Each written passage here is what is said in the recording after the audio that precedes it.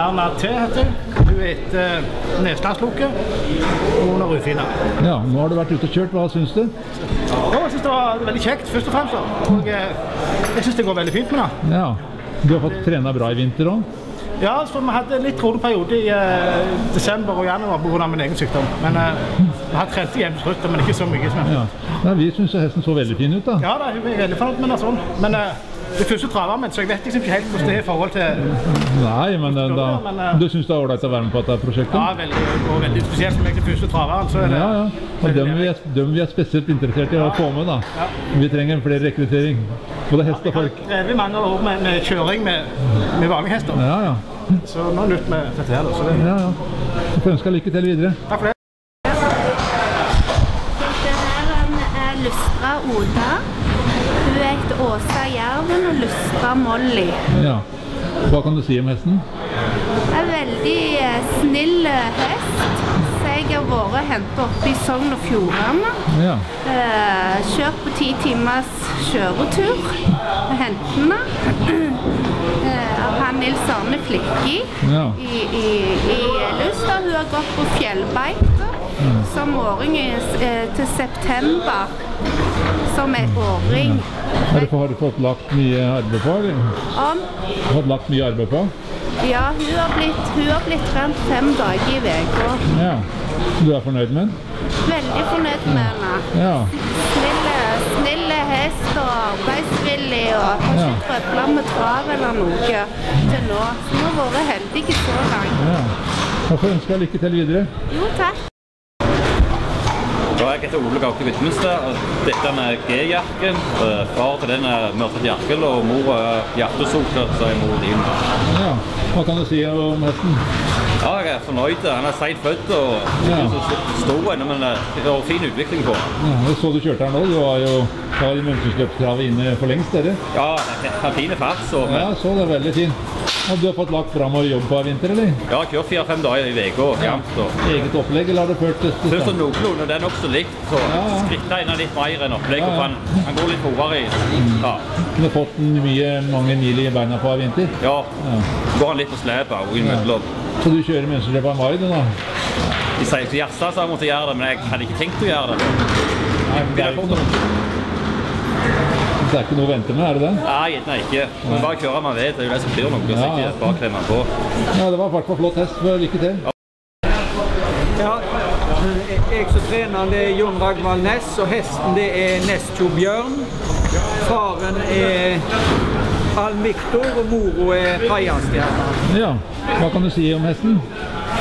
Nei, det er jo en uh, store hest, eh, men eh, jeg har vært godt fornøyd med han i trening. Han, eh, han har ikke noe sånn voldsom toppfart, men han eh, har en eh, jog joggetempo med veldig lave puls, så jeg tror at han blir sterk nok til å få det til å stemme med det store travet, så tror jeg han skal bli god til, Ja. til slutt. Han så jo veldig fin ut. Han var en staselig hest å se i banen. Ja, han er flott, men han, det, må mye krefter til når det er så store hester og så stor trav. Så, men, men alt tyder på at det i alle fall det er Når jeg sammenligner puls og tempo når han jogger, så, så er jeg optimist på at det skal bli en god hest til slutt. Ja.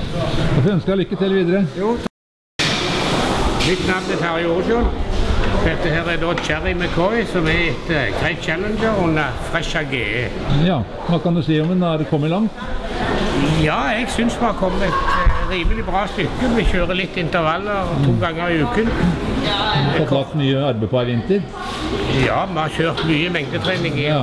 lange turer i vinter og joggeturer. Og Ja. går opp i 12 km. Og, Ja, flott. Nå er planene framover, da.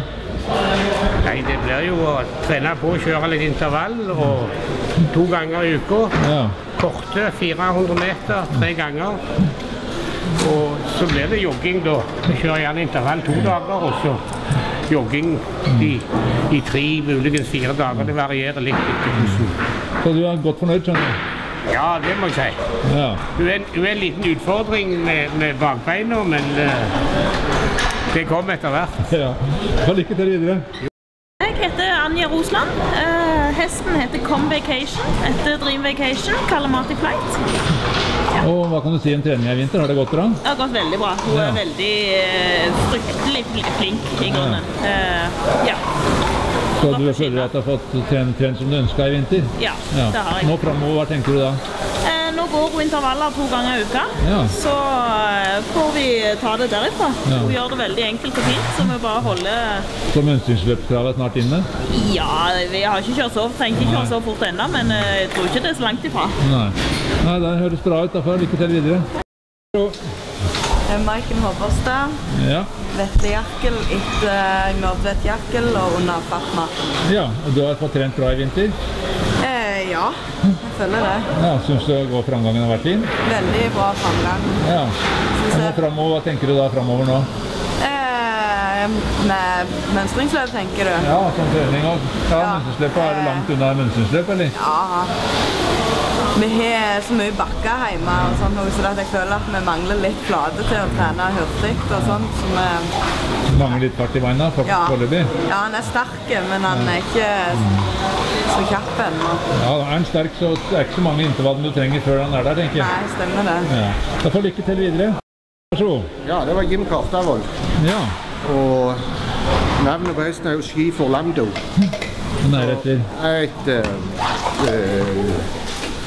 Lando Easy. Ja, Ja, ikke det han heter? ja, Og så har vi en mor som heter Muito Bonita. ja. Det var jo en kjempeflott hest, da. Ja, Han ser jo helt nesten ferdig utvokst. vokst. ja, ser fin og ferdig ut, men jeg vet ikke om han er det. da. Nei, men er du fornøyd? Du var ute i banen, så jo veldig fin ut der òg, da. Ja, skikkelig fornøyd med han. Ja. Ja, Så du har fått lagt mye arbeid på han i vinter? det er jeg. Ja. Så det er bare nå i litt fartstrening, så er han klar til mønstringsløpet? Ja, han er nok uh, klar til mønstringsløper. Men Ja. så må vi vente litt, så kommer ut litt flere hester. Så Ja, kan kjøre så gå sammen. med noen. Har du vært med på fellestreningene du, eller? Jeg har vært med på fellestreninger. Ja. Har du hatt utbytte av det? Ja, absolutt. Ja. Så det er noe du kan Viste vel anbefale? gjerne i banen òg nå, i hop med Ja, hester. var hestene. Jeg synes, fint. ja, For mange, og det var ingen som tøysa den, syns jeg. Nei, ikke sant? Ja, så det er bra. klart dette er noe for seg. Ja. Så får ønske lykke til videre. Ja, takk for det. Vær så god. Hei, det er Rune Grasdal, og dette er Tore Tang. Han er etter eh, Smågodt og mørtøtt Jerkel. Ja, hva kan du si om han? Han er en eh, sjarmerende kar. eh, Vi måtte kastrere han, for han, ble litt mye hengst. Ja. Så det var egentlig bare jeg som kunne holde på med han. Men uh, han er kjekk kar, men det går seint framover travmessig. Men jeg prøver å være tålmodig. ja, men du har lagt mye arbeid på den i vinter, i hvert fall. Ja, Ja. jeg kom raskt opp på det øverste trinnet, så jeg har kjørt veldig mye. ja. Litt intervaller nå, så er den der, tenker jeg. Ja. De slipper seg fort, bare med sterke nok. Ja, stemmer det. Ja, ja men du er godt fornøyd foreløpig, i hvert fall. Ja da, ja da. Han er, han er bare en bonus han her. I, han skulle egentlig være selskapshest noen andre, så nå er, men nå er han jo favoritthesten nesten. Tore Tang han har jo et flott navn, da. Ja. Så det blir nok en maskot på sånn her. her. Ja. Ja, lykke til videre.